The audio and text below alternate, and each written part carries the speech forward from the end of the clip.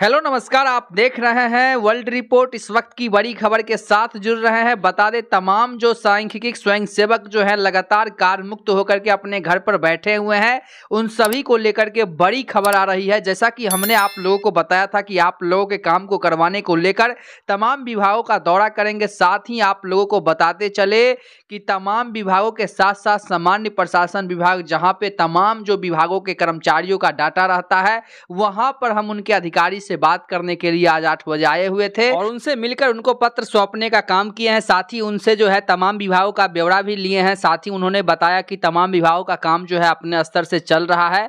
साथ ही आपको बताना चाहेंगे कि सांख्यिकी स्वयं सेवकों को लेकर के भी जो है कहीं ना कहीं सक्रिय जो है विभाग होता दिख रहा है। जैसा कि मैंने आप लोगों को पहले भी बताया है कि विभागों के द्वारा जो है रिक्वायरमेंट भेजी गई है, जो सामान्य प्रशासन विभाग के अधीन है। और आप लोगों का काम भी शुरू हुआ था, लेकिन फिर किसी कारण बस आप लोगों का काम थोड़े दिनों के लिए स्थगित कर दिया गया है। जैसे कि हमने आप लोग को बताया कि लोकसभा चुनाव 2024 जैसे जैसे नज़दीक आ रही है, तमाम जो राजनीतिक पार्टी हैं बड़े बड़े वादे तो कर रहे हैं, लेकिन वादों पर खड़े उतरने को लेकर के जो काम करना है, वो मैन है। और आपको बता दें कि विधानसभा चुनाव भी नज़दीक है, उसके पहले चाहते हैं कि आप लोगों का काम हो जाए, जिसको लेकर के तमाम विभागों का दौरा हमने शुरू कर दिया है। जैसे ही हमको पता चला कि कर्पूरी सभागार में तमाम मंत्रीगण का आवागमन है, सीट शेयरिंग को लेकर के, वहाँ भी आप लोगों के पत्र को लेकर के हम गए। जैसा कि आप लोगों ने कई खबरों में देखा भी होगा। आप तमाम सांख्यिकी स्वयं सेवकों को बताना है कि आप लोगों को लेकर के पटना हाईकोर्ट ने राज्य सरकार से पचहत्तर हज़ार मान्यता प्राप्त सांख्यिकी स्वयं सेवकों का रिकॉर्ड मांगा था। आपको बताना चाहेंगे कि जो कि सरकार अभी तक उनको पेश नहीं कर पाई है। मामला तो बहुत दिनों का है, लेकिन सरकार पेश नहीं कर पाई, जिसको लेकर के आप लोगों का मामला जो है, आज आठ सालों से आप लोगों का मामला जो है अटका पड़ा हुआ है। उसका मुख्य वजह यही है कि पटना हाईकोर्ट के एकल पीठ ने मांगा था, लेकिन सरकार वहाँ पे आप लोग का ब्यौरा नहीं सौंपी, जिसका मनसा यही साफ़ क्लियर दिखाई पड़ता है कि सरकार का मनसा ही नहीं था। लेकिन अब जाकर के जब विभाग के द्वारा जो लगातार रिक्वायरमेंट आप लोगों की भेजी जा रही है तो उसके हिसाब से आपको बताना चाहेंगे कि कैबिनेट में आप लोगों का पैनल जो है रद्द हुआ था। कैबिनेट से अगर आप लोगों का पैनल रद्द हुआ है तो कैबिनेट से ही आप लोग का पैनल रिसॉल्व भी होगा। इसको लेकर के भी जो है हम आपको बता देना चाहते हैं कि मुख्यमंत्री महोदय, आप लोगों की जो फ़ाइल है, जो आप लोगों की पैनल है, नए सिरे से जो है, उन पर जो है, उनको जो लागू जो करेंगे तो वो कैबिनेट से ही लागू होंगे। इस चीज़ को भी आप लोग जान लीजिए। देखिए, ऐसे में एक बड़ा सवाल उठता है कि कहीं ना कहीं विभाग जो है, अपने स्तर से जल्दी जल्दी से आप लोगों के पैनल को बनाएगा, तभी तो उसे कैबिनेट में प्रधान सचिव लेकर के जाएँगे और कैबिनेट से जो है, उसे प्रस्तावित किया जाएगा और कैबिनेट में उस पर मुहर लग करके फिर से पैनल जो है रिसॉल्व हो जाएगा, जो डिजॉल्व पैनल है। तो आपको बताना चाहते हैं, इसको जो है, एक चेन के माध्यम से किया जाएगा। आपको बताना चाहेंगे कि सचिवालय से जो निकल करके फ़ाइल आती है, वो जीएडी में जाती है यानी कि जनरल एडमिनिस्ट्रेशन डिपार्टमेंट में। अब वहाँ से फ़ाइल निकल करके जो है सीएमओ आती है, क्योंकि सीएम जो है उस पर अनुशंसा करते हैं। इसके बाद प्रधान सचिव उसे फिर से लेकर के जो है कार्मिक विभाग को भेजते हैं। कार्मिक विभाग से वित्त विभाग को जाता है। वित्त विभाग से फिर आता है सीएमओ में अनुशंसा के लिए। इसके बाद उसे जो है प्रधान सचिव कैबिनेट में प्रस्तावित करते हैं, जहाँ पर तमाम विभागों के मंत्रीगण मौजूद होते हैं। वहाँ पर आप लोगों के फाइलों पर जो है सुनवाई होती है। इसके बाद लगता है जिस प्रकार से उस प्रकार से उसे जो है मोहर लगा करके काम जो है आगे बढ़ाया जाता है। लेकिन आपको बताना चाहते हैं कि ये ये अनुशंसा के लिए और ये जो काम आगे बढ़े, इसके लिए सबसे पहले विभागीय स्तर से दौरा सही रहेगा। विभागीय स्तर से काम शुरू होना तय होगा। तभी जाकर के आप लोगों को जो है इसका सुनिश्चित जो है जल्द से जल्द इसका जो है प्रक्रिया जो है पूर्णतः कंप्लीट होंगे। लेकिन यहाँ पर आप तमाम सांख्यिकी स्वयं सेवकों को एक बात बताना चाहते हैं कि आप लोगों को लेकर के सरकार का मंशा है कि आप लोगों को फिर से जो है समायोजन किया जाए, आप लोग के पैनल को जो है फिर से रिसॉल्व किया जाए। लेकिन इसके लिए प्रक्रिया जो लगेंगे वो लगना ही होगा। सरकार की मंशा है, इसीलिए सरकार कहीं ना कहीं इसे जो है पूर्णता खारिज नहीं कर रही है।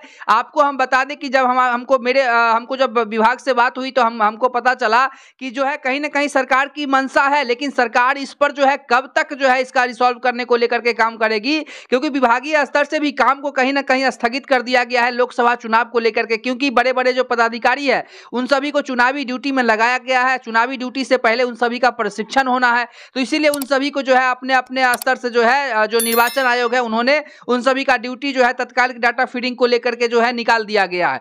तो कहीं ना कहीं जो काम है, वो थोड़ा सा स्थगित हो चुका है थोड़ा सा काम धीमे गति से चल रही है, लेकिन काम होगा इसका जो है पूर्णतः कंप्लीट आप लोग मान लीजिए, क्योंकि सांख्यिकी स्वयंसेवक लगातार 2000 आपको बताते चले कि आप लोग के जो मसले थे, उनको आप लोगों ने डिप्टी सीएम को भी लगातार पत्र सौंपने का काम हुआ, साथ ही आप लोगों ने रोज़गार देने की की गुहार लगाई। संघ के सदस्यों का कहना है कि पात्रता परीक्षा लेकर बहाली की गई। इसके बाद पैनल रद्द कर दिया गया। हम लोगों ने हर जगह फरियाद किया, लेकिन अब तक हमारी मांगों पर किसी ने विचार नहीं किया गया है। साथ ही आपको बता दें कि वर्ष 2012-13 में सांख्यिकी स्वयंसेवक की बहाली पात्रता परीक्षा लेकर की गई थी।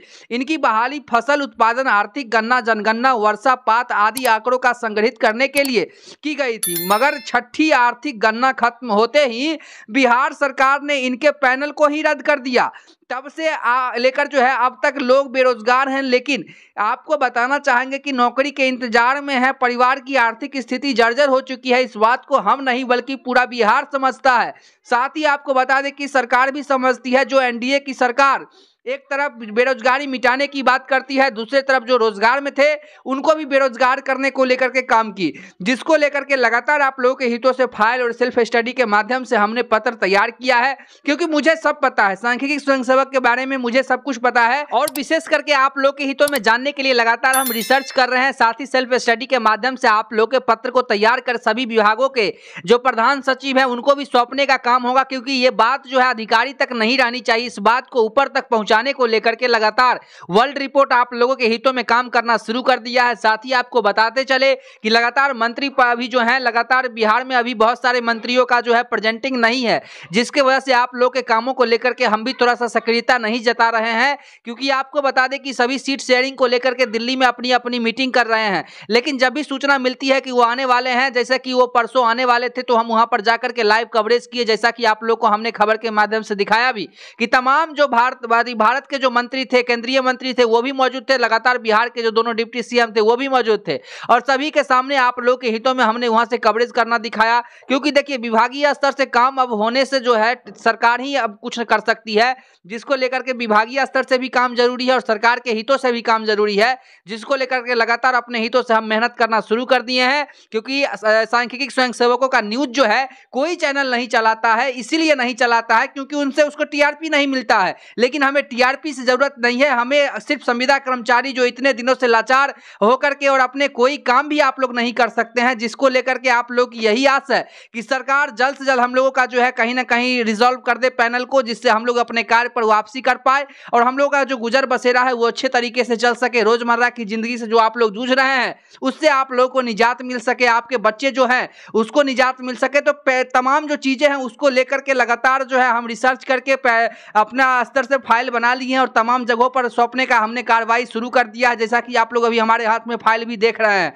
तो लगातार आप लोग बने रहे और इस चिंता को आप लोग दूर कर दे कि आप लोगों का काम नहीं होगा। इस चिंता से आप लोग लगातार दूर हो जाइए। लगातार आप तमाम सांख्यिकी, स्वयं सेवक भाई से एक ही निवेदन है कि आप लोग लगातार जो है अपने स्तर से निश्चिंत होकर के रहे, आप लोगों के हितों में ऐलान होगा और जल्दी कैबिनेट से आप लोगों के मांगों पर जो है मुहर लग करके पूरे बिहार में लागू हो। चलिए ऐसे ही खबरों के लिए बने रहे, फिर मिलते हैं एक नई खबर में, तब तक के लिए देखते रहिए वर्ल्ड रिपोर्ट।